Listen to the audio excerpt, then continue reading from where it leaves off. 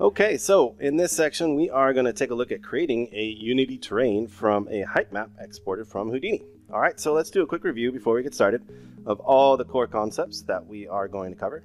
So first and foremost, we need to actually import the Unity terrain tools into Unity. All right, so I'm going to show you where that is and where all the panels are for it. Okay, uh, and then we're going to learn how to export a height map from Houdini, and then look at how we convert that exported height map to a raw format so we can import it into Unity. Unity requires that we import it as a raw format, which I wish they would actually change, but uh, that's just me.